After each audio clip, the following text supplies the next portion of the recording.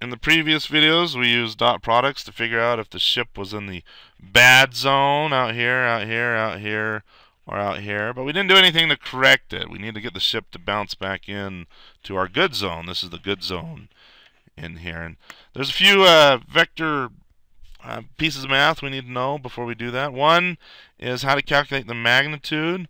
If the ship came into the wall at a at a perpendicular angle and say it was going that fast, I would expect the ship to rebound like so. But say the ship was going slower, it came in kind of as a slower rate, then we would expect it to bounce off at the same rate, but but not as long as it, if it was going fast.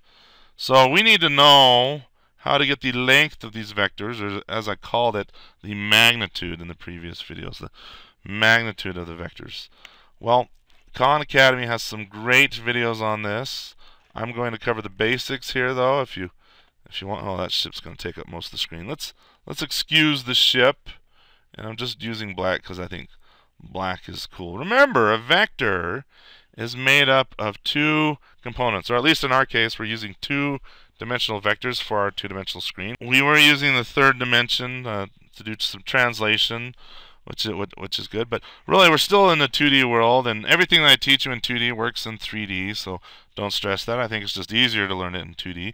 And a two-dimensional vector is made up uh, of a x component, if you would, and a y component.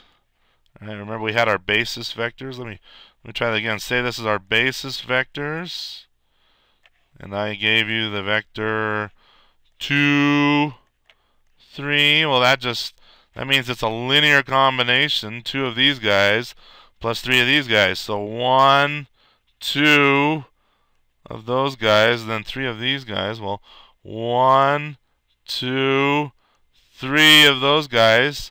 Move this vector over here so we can add the two vectors together. I just moved it over there. I'm totally legal. I can do that.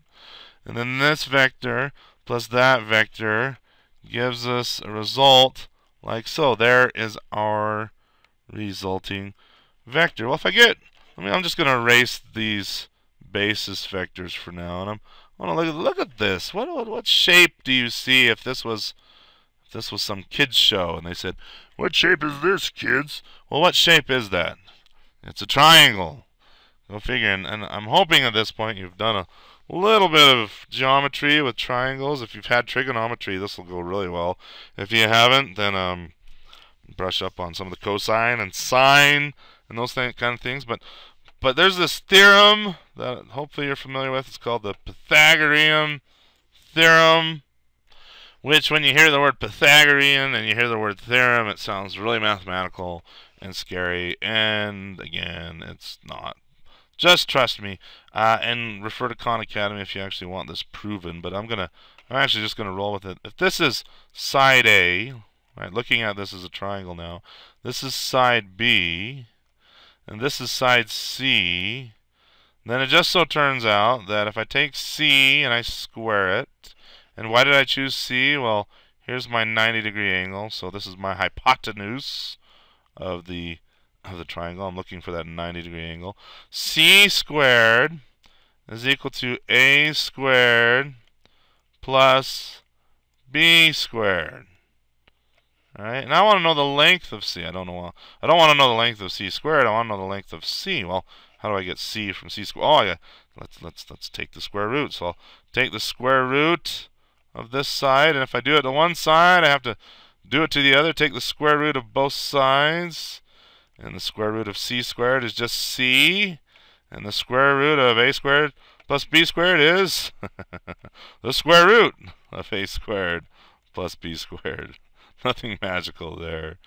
So if I want to know the length of c, I just have to take the length of a squared, length of b squared, add the two, take the square root of that, and that'll give me the length of c. And it turns out this is the vector I want to know the length of, or the magnitude of. Okay, when I say length, think magnitude. I want to know the magnitude of this vector. So all I have to do is take its two components, in this case 2 and 3, and take the square root, and that'll give me the length of it. So let's let's do that. We have we have 2 here. 2 squared is, sorry, 2 squared is not 2. 2 squared is 4. 3 squared is 9. That's going to equal 13. And if I want to know the length of C, then it's going to be the square root of 13. Let's get a, I'm actually going to get a calculator and actually look at that. Bring this onto the scene. And 13 square root is 3.6. Oh, that's an ugly number. But the length of this side is 3.6. Da, da, da, da, da, da, da. So you get the idea. That's which which kind of makes sense. If I go out two this direction, three this direction, it's it's not going to be five. The length is not going to be five, but it's at least going to be three. We had to go three in this direction, then we had to add some more, add some more length to it for this guy. So it's 3.6. Da, da, da, da. Let's do a let's do a simpler. Uh, a simpler example, Well, not a simpler example. An example with simpler numbers. How about that? Well, excuse me while I erase all this off and, and uh, see if I can get it all. There we go. Let's let's say we had the vector. This is such a typical example too.